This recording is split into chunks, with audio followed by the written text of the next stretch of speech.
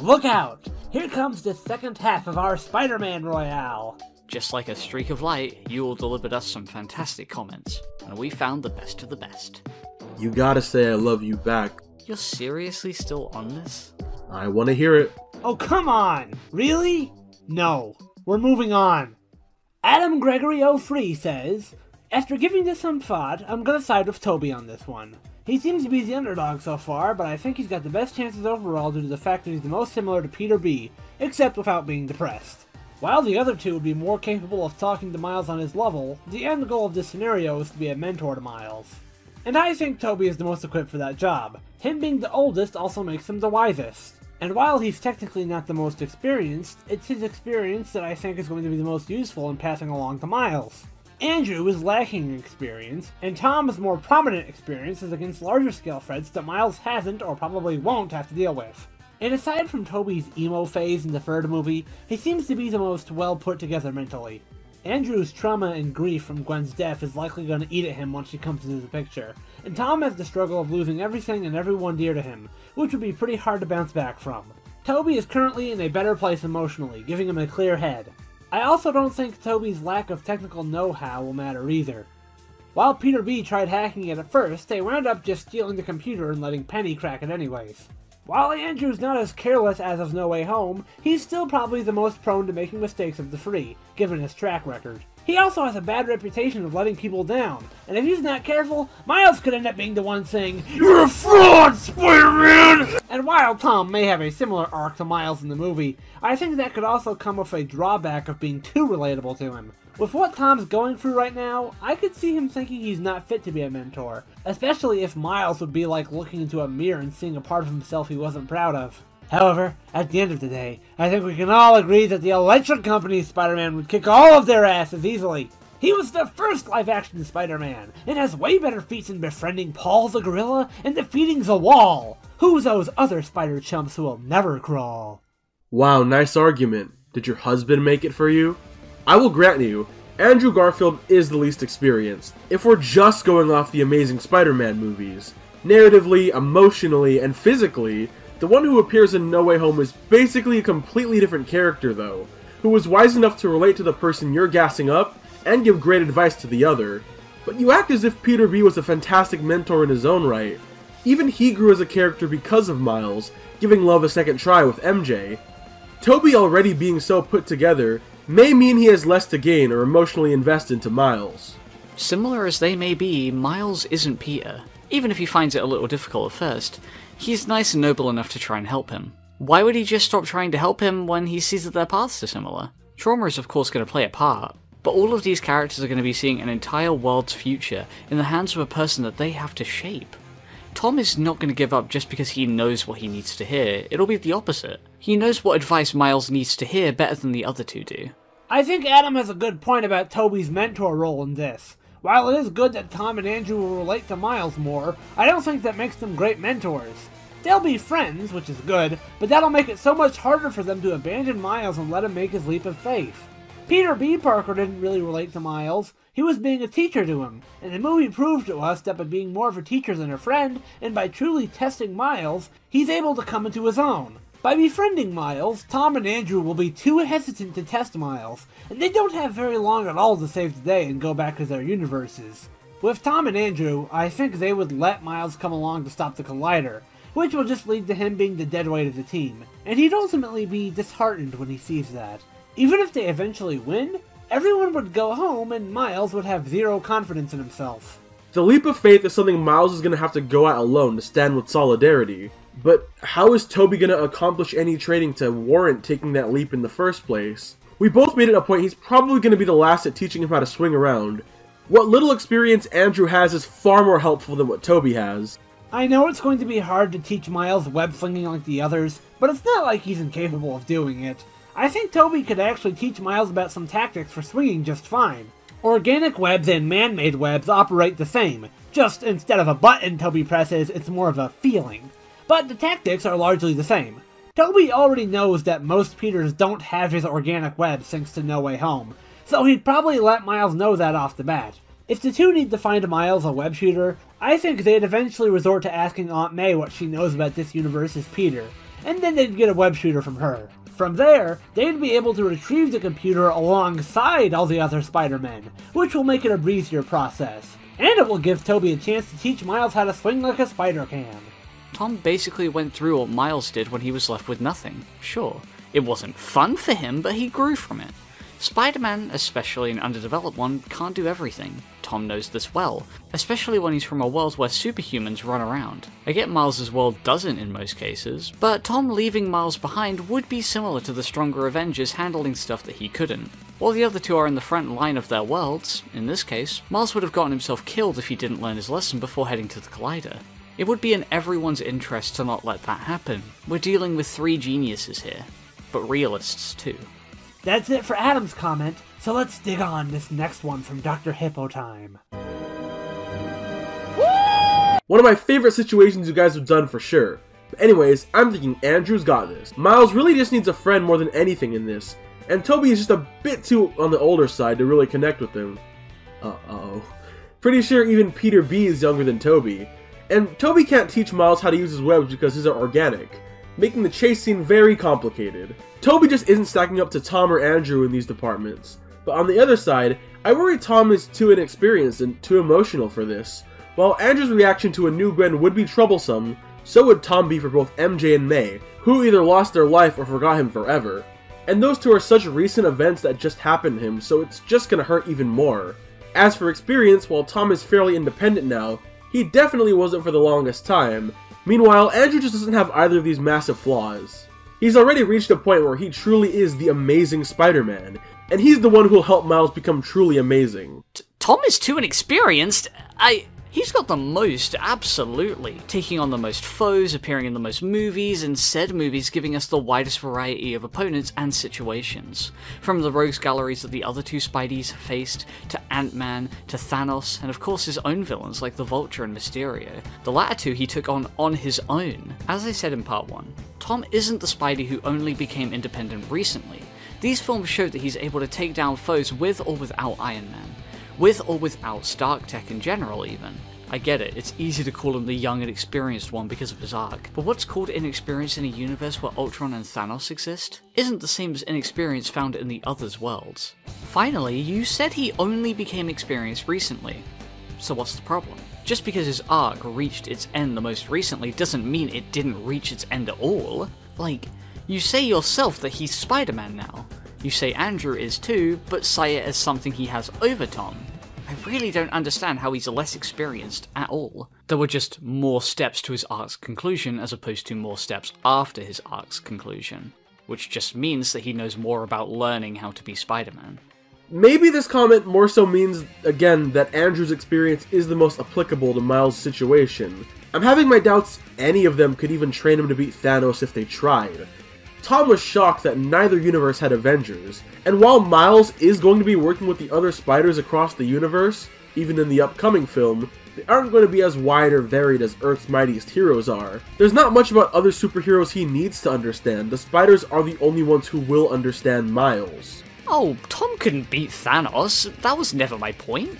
My point was that my Spidey has the widest experiences to draw from, working in tandem with other superheroes against foes much stronger than he is in the first Thanos fight, and fighting an entire army are experiences that the other Spideys just don't have. I saw some thinking that, like, I was trying to say that Thanos showed that he's a better fighter or stronger or whatever, no. I think they're all pretty comparable thanks to the latest film. But the fact that Thomas fought most of what the others have and then some likely makes him the hardest to waver and gives him the largest pool of knowledge and experiences to draw from.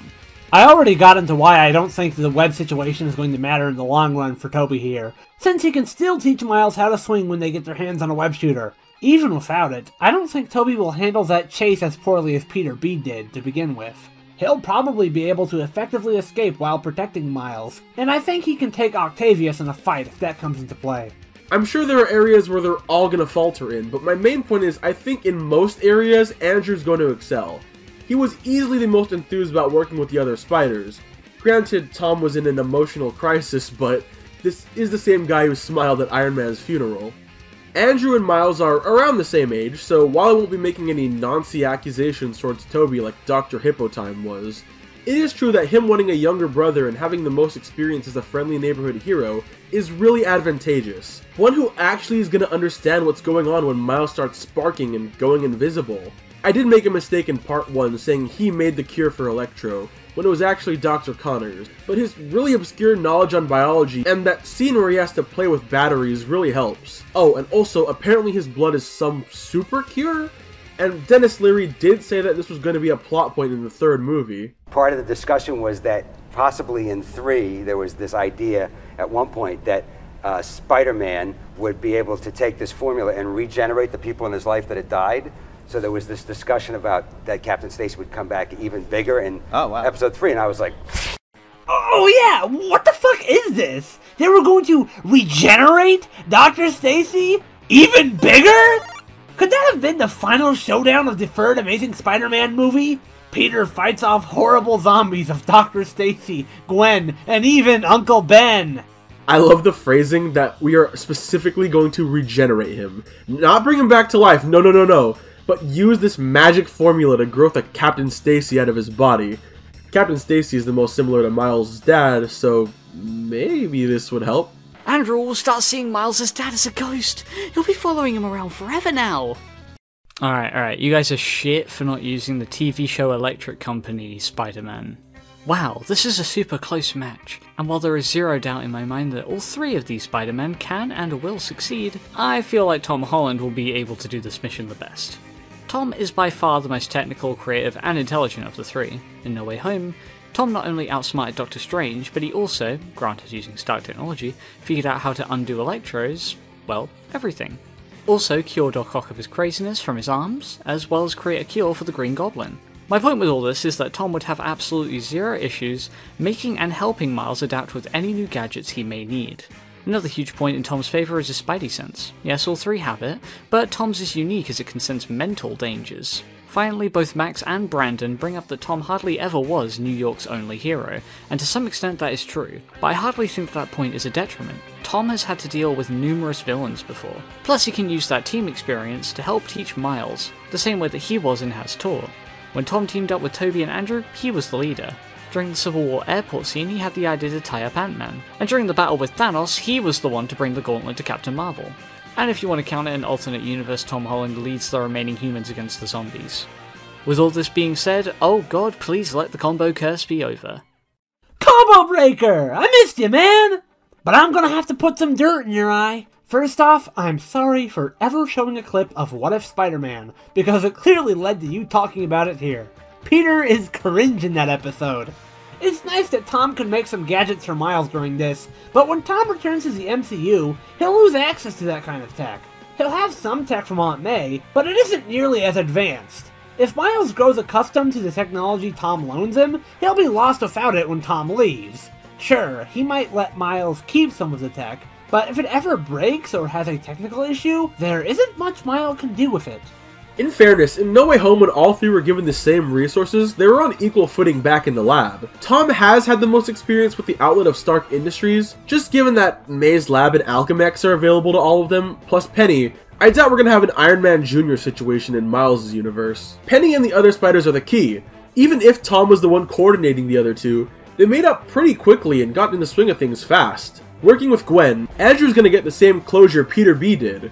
He is emotional, but anyone would be. I don't think he's gonna be in a comical, overzealous state of panic. He's not a cartoon character. Well, kind of is in this universe, but despite them going into the cartoon world, everyone there, including the pig, could help both him and Miles. Tom has met similar people like Rocket, Iron Man, or even Captain America in the case of Noir, but they aren't the exact same people. Noir's even more of a fish out of water. He was perplexed by a Rubik's Cube. I bet if you offered Steve Rogers one, he'd just hit you with a no, I don't think I will. Tom being the least like a typical Spider Man with his universe means he'll relate to them the least. In the lab, Tobey could only really work on a cure for Goblin, since he'd been thinking about it for a while. Andrew is for sure smart, but he didn't make as many cures as Tom did. And without evidence of him being able to do so, I think it's safe to say that Tom is still the best in that regard. Combo is also right that Tom's spider sense is the most multifaceted compared to the others. I'm not sure if it could detect Miles' emotional state across a city, however, I do think that it will be able to detect Doc Ock being evil before she shows off her tentacles.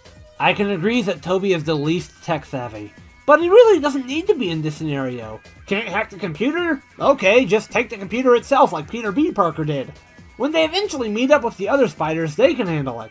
Tobey doesn't need to be a tech whiz to mentor Miles. Buddy, if this guy can't even deliver a pizza in 28 minutes, how is he supposed to carry a whole PC? Back on Holland, he's had to deal with the most villains, but in every movie he just keeps digging himself deeper and deeper into a rabbit hole. Tom doesn't know how to stay out of trouble. Sure, Andrew can get a little messy and Tobey makes mistakes too, but neither have straight up become public enemy number one. Thomas had his whole identity leaked. Tobey only did that to some people on the train who promised to keep his identity safe. I guarantee if the others went against Mysterio, they would fall for that trick too. That's less so a testament to Tom being gullible, and more so Mysterio being the pettiest villain ever conceived, who also doesn't shower. Fire all the drones! No! Low F Fort says, they'd all do fine, so this is really a question of nuance. This is judging by how much better off Miles would be under their short care. Who can ultimately impart the most meaningful wisdom in the least amount of time? While providing Miles with friendship and better tech is nice, a lot of Holland's struggles are because of his incredibly powerful tech. It was an easy solution that made him make a lot of mistakes. Plus, Miles ultimately will be left with Aunt May as tech support, so it's not that big of a deal to have tech under your belt.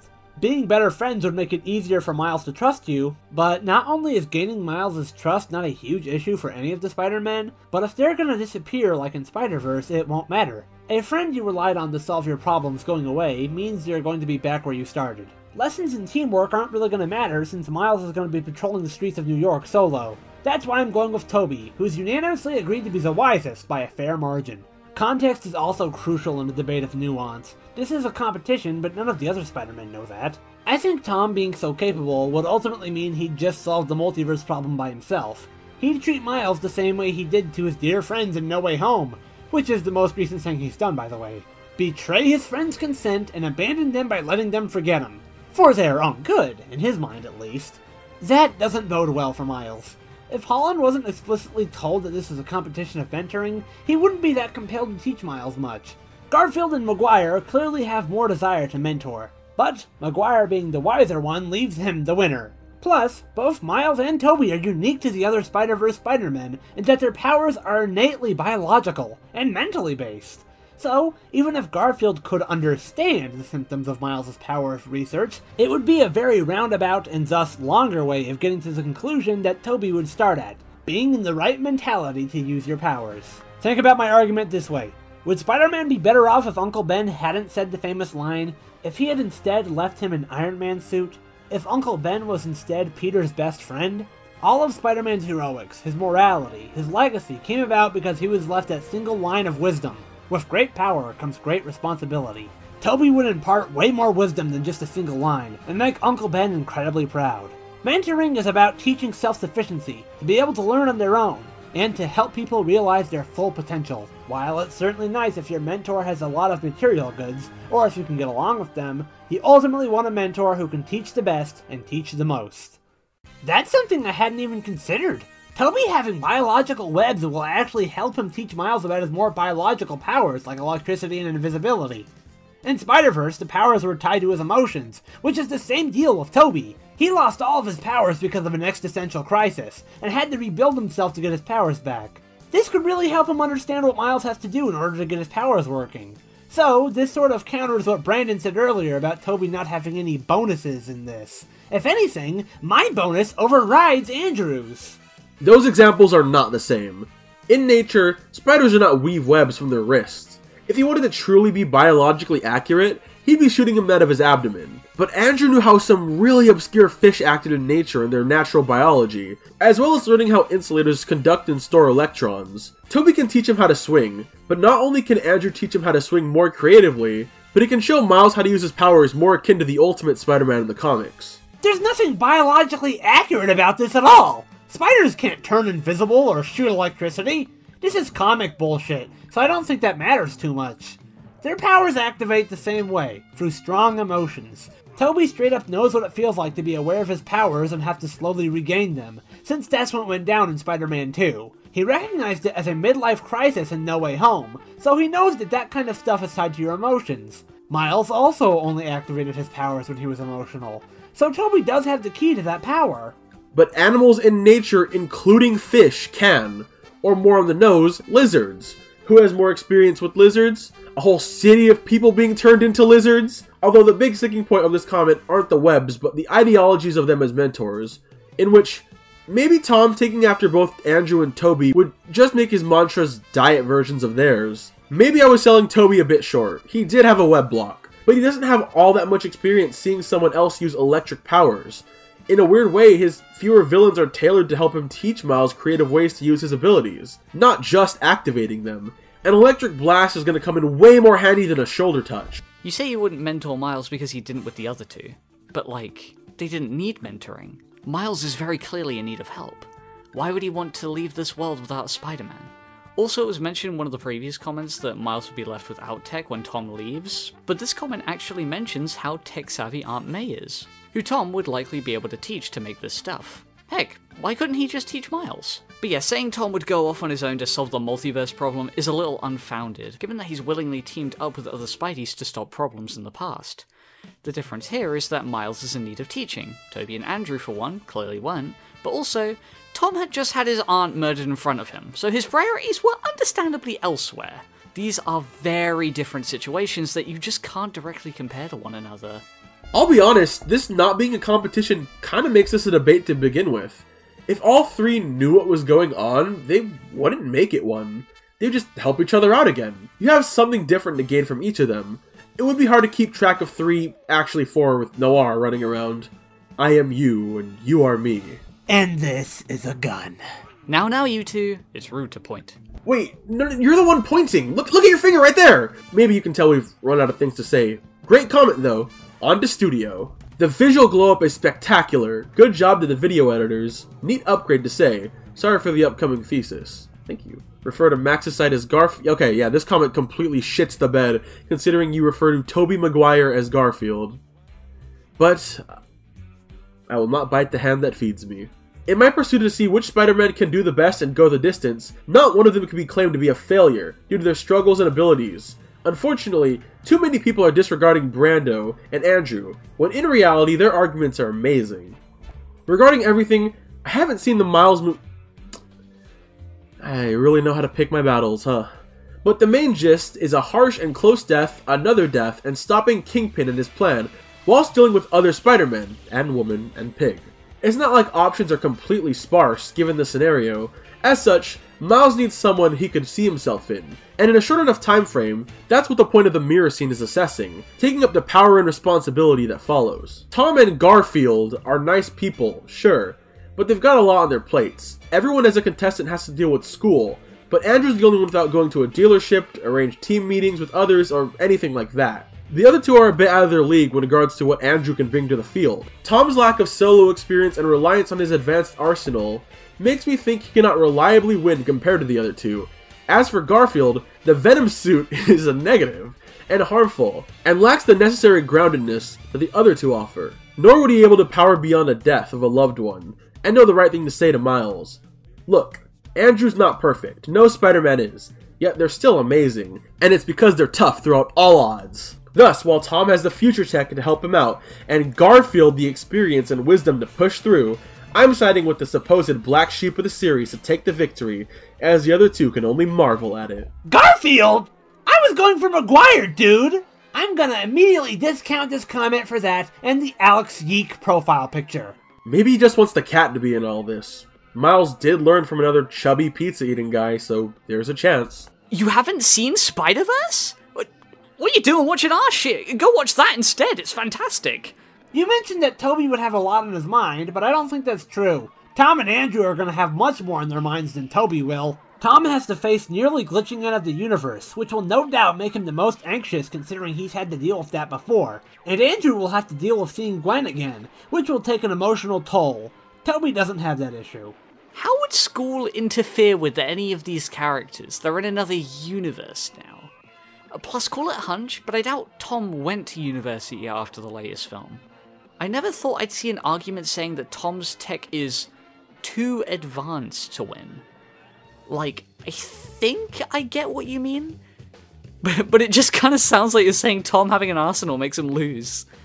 Also, again, Tom is not inexperienced. He is the opposite of that definition. Making mistakes doesn't mean that his inexperience is void. You can't tell me with a straight face that the other Spideys never made mistakes when learning.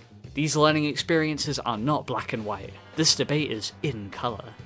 Oh, oh, and the Venom suit? When did I bring that shit into my debate? I wouldn't dare let that shitty Venom plotline from Spider-Man 3 seep into the Spider-Verse. Ooh, my spider sense is tingling. if you know what I'm talking about. Gross. Oh, I'm glad the Venom suit's not in all of this. That guy is literally a living nightmare. Despite some confusion with the scenario, clearly, I do think Andrew is the one who can emotionally respond to Miles the best. That much is true, while partaking in a lot of his interests. Yeah, they're working on a ticking clock, but being Spider-Man can suck. If he sees that with this job, you're still allowed to play basketball or skateboard or buy milk and all that stuff, there's still fun that comes with being the wall crawler, albeit with great power and great responsibility, no matter how horribly Ben butchered it. He believed that, that if you could do good things for other people, you had a moral obligation to do those things. That's what's at stake here. Not choice, responsibility. Andrew, you're a fucking liar telling Tom you heard the quote from Uncle Ben. That is just not what he said at all. But if he's willing to twist the truth to help this kid, what's helping another, right? Really keeping the spider theme going and talking out of his ass. Speaking of lying, Biffweed! The two points that are sticking with me, I, am not, I don't worry Biff. The two key points that are sticking with me are who can best mentor and befriend Miles, and who can help him master his powers the best. In the latter's case, I actually think Andrew is the worst off in that regard, since he's the only one who's never had to deal with losing his powers. Brandon does bring up the Electro Cure in No Way Home, and his knowledge on biology, but knowing how Miles' powers work does not translate to him being able to know how to use them properly. Neither does knowing how to siphon electric powers out of somebody, but even then, Andrew wasn't the one who made Electro's cure, that's Tom. I'd argue Tom's biological knowledge will be even greater than Andrew's, given that he made the cure for all five villains in No Way Home. As a mentor, Tom already has experience working on a team compared to the others who have always gone solo, outside of one fight in Tobey's case. Which ended with Harry dying anyway, so take the fat L, Tobey Maguire. Like was said in the video, Thomas led the other two Spideys and kept them coordinated in the final battle in No Way Home. As a friend, Andrew mentioned in No Way Home how bitter and lonely he'd gotten. While Tom still had Ned and MJ around for a lot of his time as Spidey, to keep his social life about as active as it gets for Spider-Man. Which isn't much, but again, the others had said in No Way Home that they just don't have much time for Peter Parker stuff anymore. Thank you for the tip, Biffweed. Thank you very much. I know mastering his powers is not really going to be something that he can accomplish in just a day, but you're underselling how much experience Andrew has with electricity. Tom made a cure to siphon his powers, but that's because he had a Stark reactor lying around. Tom won't be able to make one or even use one with Miles. The knowledge on biology more so comes into play with invisibility or camouflaging like a lizard. Even if he's never lost his powers, Given his knowledge on nature, it should be pretty evident that there's an emotional response going on. And I mean, in nature, camouflaging is an emotional response to fear of predators. Peter B got shocked by Miles, as well as Andrew and the other two. But who's gonna know what to do when Miles accidentally starts tasing people? I do think it's worth noting that, according to No Way Home, Tobey actually did manage to make things work with MJ, and is seemingly keeping his social life together in more modern times. I guess he got a better grip of things as life went on for him. But yeah, socially, I don't think Tobey will do too bad. He is right that Tom is the most used to working in a team and is generally the most coordinated. And while Andrew is knowledgeable on biology, there's nothing really pointing towards Miles' newfound skills working the same way that eels or lizards do, or anything like that they work like spiders do. A type of spider that very well might not even exist in Andrew's world. And yeah, Andrew is the only one with no experience in getting spiders' powers working again. Albeit, they got different ones working than the electric one, so maybe this isn't a huge factor, but I'd argue different spider people's powers are more comparable than electric eels and fish knowledge. This may be leaning into headcanon, but I can imagine these being problems the other spiders have had to deal with. They aren't going at this alone. If we're going to look at the source material as our only other reference for them, then I think there might be a problem with Tom being too similar to Miles in the comics. In the Ultimate Spider-Man series, he's just like Tom Holland, even having a nerdy best friend who's a stand-in for Ned Leeds, named Lee, and Peter Parker being his Iron Man. Like, no, literally, Homecoming was based off these Miles Morales comics more than any actual Spider-Man comic. Problem is, a lot of people see this as an inferior version of Miles. In Spider Verse, Miles comes into his own by himself. But this Miles is too reliant on Spider Man and lives in his shadow, much like how Tom was early on. If Miles was being mentored by his comic counterpart version, then this would make sense. But just like how every adaptation of Peter Parker's story gives us a different character in the end, the same applies to Miles Morales' stories. It's not like Miles in the comics is some horrible version of Spider Man who sucks at his job. Unlike comic Peter, Tom knows to not become over reliant on others. I'd say taking down Mysterio shows that he's learned to take foes on himself without Iron Man being, well, alive. I do miss him though. Tony used to eat cheeseburgers. Yeah, admittedly, Miles' roommate is the least touched upon part of Spider Verse. Maybe he would be his Ned, although I don't see him becoming the CEO of Sex. Do you guys think MCU Ned will become Hobgoblin? Do you think that would be fucking hilarious?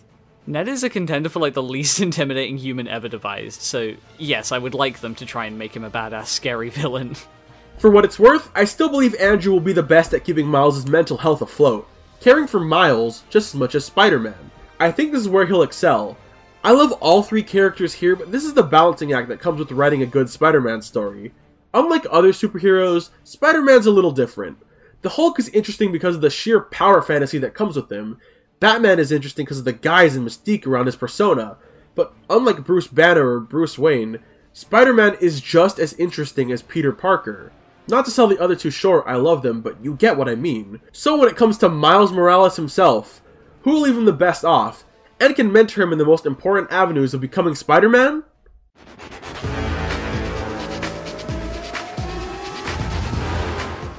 Okay, well, it's probably not Andrew Garfield. Ah, wait, Brandon, we haven't even gotten that far into this. You're immediately giving up? Look, I'm glad there were things to at least talk about with the Amazing Spider-Man movies, but the more I thought about this debate, the more I realized that while he shares qualities with these two, he doesn't necessarily excel in any major areas, which I mentioned was the linchpin for him winning, and is just the least experienced and the most reckless. I did just say seconds ago he would keep Miles in the best shape mentally, but it's not like the other two are completely lacking in these qualities, and that's the thing. In any areas where Andrew's taking W's, the others aren't lacking, but in any areas where the others are excelling, Andrew just falls behind tremendously. He's a sweet, charming, handsome guy. What was I saying? But my main point was, while I argued he could teach Miles how to use his powers the best, and that he had the most experience being a friendly neighborhood hero, while not one to one, I do think Andrew would be privy to understanding what's going on, but so would the other two. But thinking on it more, there isn't much biological basis for his powers that are more so corresponding to how he's feeling. And while I'm sure he could resonate well with Miles and partake in his interests, we aren't playing with a lot of time here. His lack of experience is going to make things cluttered for sure. His reckless behavior, if passed on to Miles, is going to make him make mistakes, and he overall is just kind of sloppy. I mentioned that Tom's identity got leaked, but this is the guy who put his name on his camera and let the lizard find it. It's always fun to play devil's advocate, but realistically, while all of them would do well, the other two I can see excelling in other areas, and at least matching Andrew in a lot of his strong points. We seriously had to consider everything for these guys, mentorship versus friendship, a large swath of experience versus one that closer matches Miles. But this more so became a discussion of Tobey versus Tom, and in each of these discussions, when Andrew was brought up, he just kept coming up short. Ah, sorry, Brandon, but you fought valiantly. I will return the I love you. You put up a great debate. So this ultimately came down to Tobey and Tom, and we discussed this for a good few hours before eventually deciding the winner would be Tom Holland. Pretty unfortunate for me, but I can at least take solace in knowing that it was incredibly close. Both Tobey and Tom had a lot of advantages and disadvantages, and it was hard to determine which advantages mattered the most here. We ultimately decided that the biggest determining factor was that Tobey would leave Miles as a more traditional by the book Spider-Man, while Tom Holland would inspire Miles to be more of his own unique Spider-Man. It didn't hurt that Tom would actually be able to hold conversations with Miles. Tobey is notoriously awkward when it comes to some of his dialogue in the Raimi films. Punch me, I bleed. But Tobey wouldn't have come so far if he didn't have advantages of his own. His natural web sounded like a disadvantage at the start, but I think we were able to spin it into a strong advantage, since it means that Tobey would be the best at teaching Miles how to use his electricity and invisibility powers. I did initially think that Tobey being the oldest made him the most mature and experienced, but Tom was the one who sacrificed literally everything, so he's probably the actual most mature spider here. With that, and the fact that Tom actually had a mentor in the past that he can draw from when he's mentoring Miles, makes me slightly edge it out to him. Okay, so I know it's easy to look at Tom and assume that he's the weakest here given that he had help on his journey, but that's just it. Miles also has help, a luxury that any Spider Man would love. And because of his previous mentorship and being the most overall similar to Miles, means that he has received the advice that would click with him the most. There's a point in Spider Verse where he had to be left behind due to a lack of experience, which Tom actually had happen to him. This means he'd likely do it. He'll care about Miles too much by this point to put him in any more danger, especially if he sees himself in him. A big issue that came up in this debate was figuring out which factors really helped Miles the most. Because the movie is super good, it doesn't give us a clear answer. As one of the comments said, there's a lot of nuance here. As such, we had to try and figure out what the most important factors were. This spanned a conversation that was well over an hour long, but eventually, this search led us to arguably the most important scene in the movie. What ultimately decided this was looking at the quotes that played during the leap of faith scene in Spider Verse, since those naturally reflect what inspired him to take that leap of faith the best. While most of the quotes were pretty unanimous, there was one that stood out. I see this this spark in you. It's, it's amazing. Whatever you choose to do with it, you'll be great. This is important because Tom is the Spider Man who best understands that being your own hero is important. There is no textbook definition of Spider Man. What will Miles make that definition? Who knows? It's a leap of faith. Helps that Tom is the most tech savvy and will be the overall best at resonating with the other Spider people. Plus, he is easily the most experienced, taking on the widest variety of threats and dealing with the most in general. All of these experiences may leave him with the least to go back for, but even if Tom is scared to go back, Miles will reassure him that he has to go back. Even if his world doesn't need a Spider Man, every world could sure use one. This was absolutely our closest debate so far, with me and Max in particular bouncing points off each other for a stupidly long period of time. It even reached the point where it felt too even to ever call. But when it came down to the wire, or I guess spiderweb, a conclusion was finally reached. The draw of this episode wasn't just getting to talk about Amazing Spider Man, believe it or not but really just the character and the mythos itself. Spider Man is my favorite superhero ever, and Spider Verse is going to remain Marvel's magnum opus. I grew up on a lot of Spider Man material, and I think the Sam Raimi movies have meant the most to me. So I was very happy to talk about them here, and I'm glad this match was at least incredibly close. For Tobey and Tom, I'm sorry, Andrew. Spider Man has, for as long as I can remember, been my favorite superhero. He's got a fantastic design, super relatable and touching stories, cool power set, and it's just all around a likable character. He's one of the greatest of all time, if you ask me. I am so glad that I was able to debate for even one version of this timeless character. Thank you, Stan Lee, for everything. Now let's see how the other two fucked up. So, let's do this one last time. Across the Spider Verse, three new Spider Men were born, taking leaps of faith with newly instilled knowledge of heroes past these cinematic Spider-Man would say goodbye to their teams, leaving Miles New York's sole defender. Their ideals, skills, and experiences molded each version of Miles in different aspects, making him better suited in some areas more than others. And while all Peters were left satisfied that the experience with the Super Collider came to a close, like a web coming unraveled, the cracks in their words of wisdom started to show, upon Miles taking on New York alone.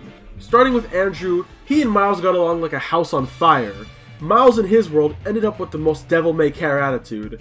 He greeted every situation with a smile, and said what's up to any form of danger. While he was truly a friendly neighborhood hero, he was also reckless and brash.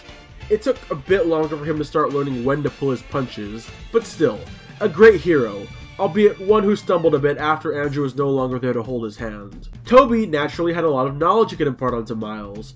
He was someone he could look up to and learn a lot from, but not someone he necessarily wanted to be. Anytime Miles faltered, he just thought of Tobey, wondering what he would do in these situations. That is to say, he thought he had to do almost everything by the books. This made him a great hero due to Tobey's vast knowledge, but gave Miles very little room to grow and do his own thing. Then there was Tom, and instantly the two clicked. Miles was so invested hearing all the great journeys he went through as Spider Man with other superheroes, and wanted to be just like him. Tom thought back on his time with Mr. Stark and knew exactly what Miles needed to hear, albeit at arm's length. because Tom was the one who succeeded at crafting the best Spider Man by letting Miles reinvent the hero on his own and take the leap of faith. Anyone can wear the mask, but Tom knew Miles had a gift. Working with someone who was his equal in all areas but experience, his world ended up with a hero as quick-witted as the one in Andrew's and as smart as the one in Tobey's. But he didn't need to be compared in order for others to see how he turned out. He wasn't just another wall crawler. He was the one and only Miles Morales. So look out! Here comes the Spider-Man.